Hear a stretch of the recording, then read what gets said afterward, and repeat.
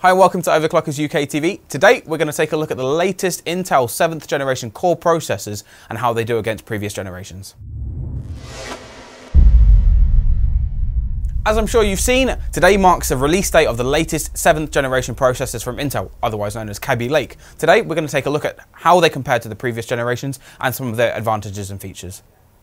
While the latest 7th generation Lake processors do share a few similarities with the last 6th generation Skylake processors, for instance the 40nm FinFET manufacturing process, along with the socket LGA 1151, there are a few differences as well. For instance, the new Kaby Lake does offer improved onboard video that allows you to decode 4K video on the fly, along with offering Gen 2 USB 3.1 and Thunderbolt support natively, thanks to having more PCI Express 3.0 lanes.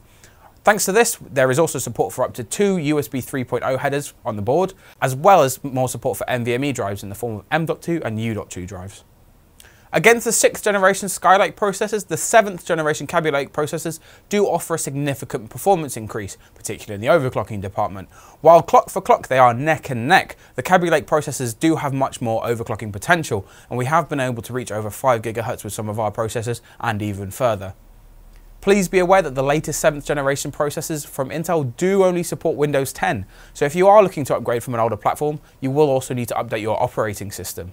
We wouldn't be Overclockers UK if we didn't offer the latest range of components. We have the new range of Z270 motherboards from the likes of Asus, MSI and Gigabyte, and we also have our range of pre-overclocked 8-pack and motherboard and CPU bundles. So if you are looking to upgrade, those are perfect for you. Otherwise, we do have our range of award-winning systems. So if you like what you've seen, check out the links here and subscribe for more.